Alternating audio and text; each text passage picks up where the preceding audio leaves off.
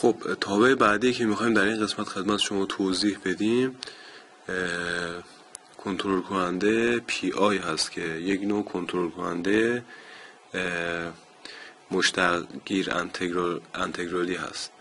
خب ما در اینجا سه تا ورودی داریم که دوتای اول دیجیتال و ورودی سوم آنالوگ هست.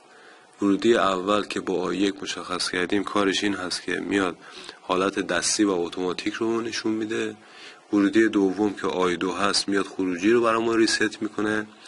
و ورودی سوم که یه ورودی آنالوگ هست میاد مقدار پیوی رو به ما نشون میده که ما با تغییرات این مقدار می‌تونیم پیوی تغییر می‌کنه و اون عمل جبران کنندگی در این کنترلر انجام خواهد شد.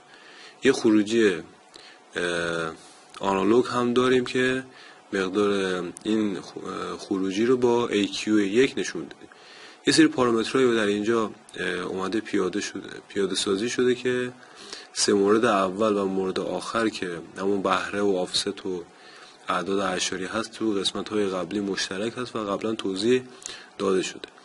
موارد جدیدی که حالا به اینجا اضافه شده مثل set point، MQ، KC و TI و DIR رو خدمت شما توضیح خواهیم داد. خب من میام عمل simulation رو در این قسمت انجام میدم. شما می‌بینید که زمانی که من عمل simulation رو انجام میدم یه سری یه جدولی در این قسمت باز میشه که توی این جدول اومده مقدار خروجی set point و PV رو پیاده سازی کرده. خب این هر ثانیه میاد از این موارد میاد یک sample یا نمونهگیری انجام میشه و این نمونهگیری رو میاد روی این جدول و این نمودار پیاده سازی می‌کنه. ما مثلا اگه زمان این sample period رو اگه بیشتر بکنیم می‌بینید که تغییرات مثلا هر سه ثانیه یک بار انجام خواهد شد. می‌بینید که شما این تغییرات رو می‌تونید اینجا مشاهده کنید که 49 52 و عدد بعدی 55 به این صورت تغییر زمانی که تغییرات کمتر مد نظرمون باشه می‌خوایم سریعتر تغییرات رو ببینیم میایم این زمان رو کمتر می‌کنیم.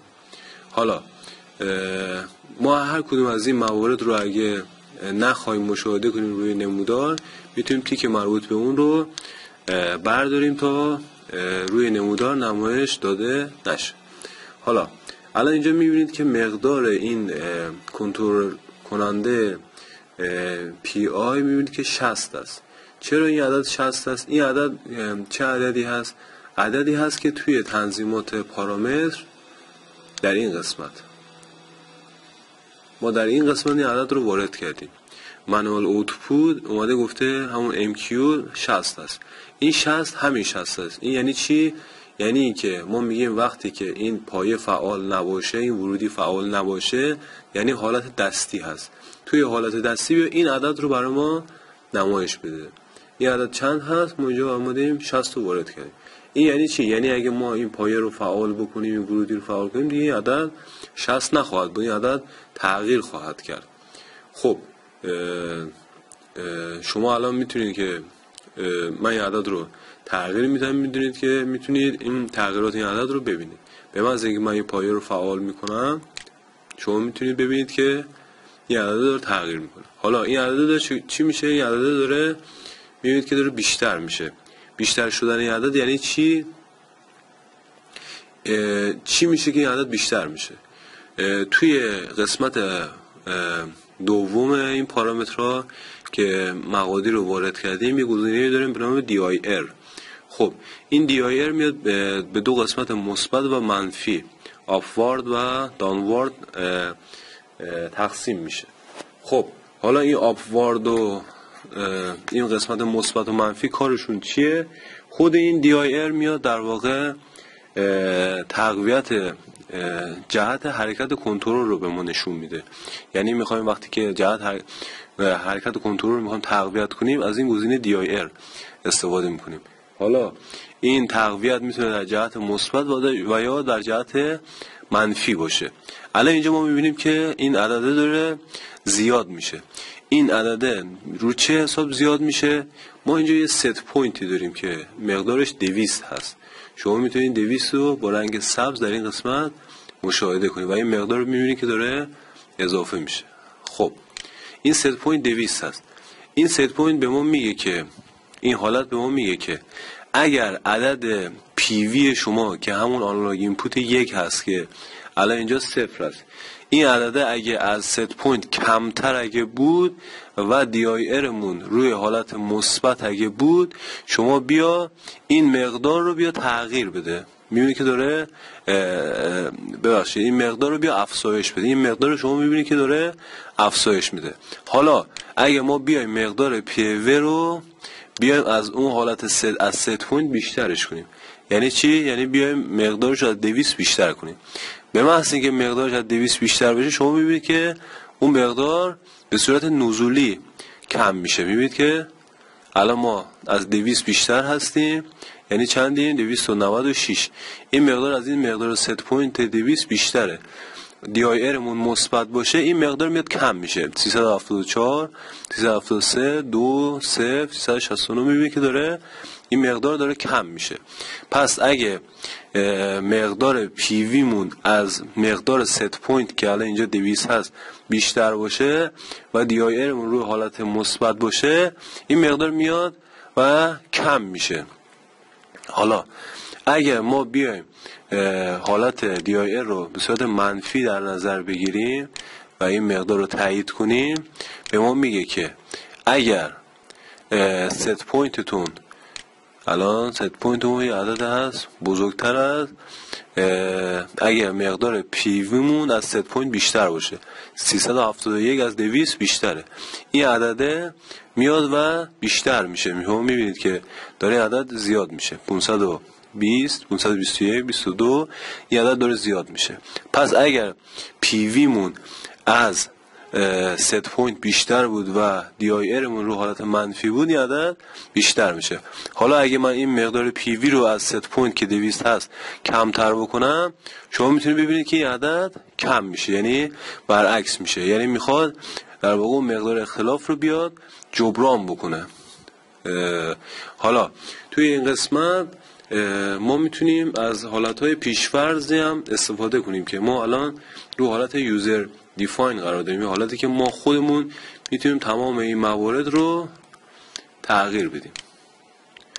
حالا من ابتدا موارد پیشفرز رو توضیح میدم و بعد خدمت خواهم, خواهم گفت که این گزینه‌ای که در اینجا قرار داره هر کدوم چه کاری انجام میده. خب ابتدا من میام رو حالت اول قرار میدم این تمپرچر فست میاد در واقع برای افزایش سریع دما استفاده میشه. جایی که مثلا محیطش کوچیک هست می‌تونیم از این گزینه استفاده کنیم. رو حالت دوم افزایش آهسته دما هست. جایی که نوسان دمایمون کمتر هست. جایی که در واقع فضاشون بزرگتر حجمشون بیشتره از این گزینه ما می‌تونیم استفاده کنیم. مثلا این گزینه ما استفاده کنم می‌بینید که تمام این گزینه های زیر اون همه غیر فعالن و دیگه نمی‌تونیم رو تغییر بدیم. چون این معادلشون پیش فرض هست. پرشر یک و پرشر دو هستن که اولی مربوط به تغییر فشار سریع هستن مثل کمپرسورها و اینا. دومی هم تغییر فشار کم و مقدار کم تغییر فشار بخوایم از این مورد می‌تونیم استفاده کنیم. مورد بعدی هم مربوط میشه به کنترل پرکن مخزن بدون کفکش و این مورد هم کنترل پرکن مخزن با کفکش هست که این توی در واقع هلپ و توی مشخصاتش آورده شده.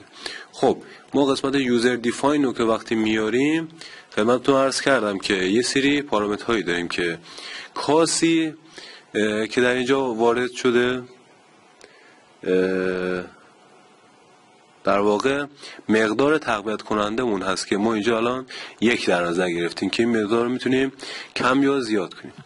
TI که در اینجا وارد شده integration time در واقع زمان انتگرال گیریمون هست که ما می‌تونیم اینو بر حسب حالا مقدار دقیقه و ثانیه در این قسمت وارد کنیم. دی آی هم که گفتم که تقویت جهت حرکت کنترل کننده هست که استفاده میشه. این هم که همون اشارمون هست. حالا ما می‌تونیم در این قسمت با یه سری تغییراتی که اینجا انجام میدیم می‌تونیم یه مقدار یوزر دیفاین جدید برش درست کنیم که غیر از این مواردی باشه که در اینجا قرار داده.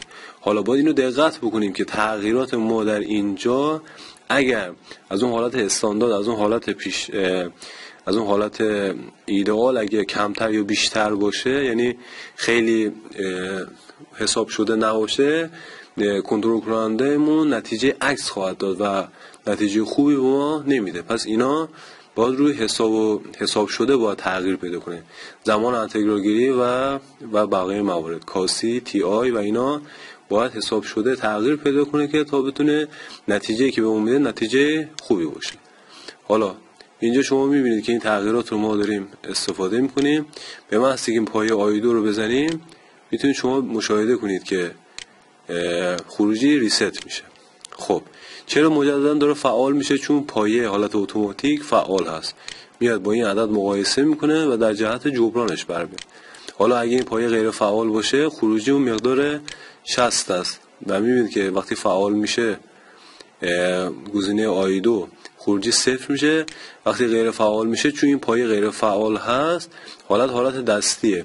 چون حالت دستی هست میاد مقدار 60 رو توی خروجی قرار میده.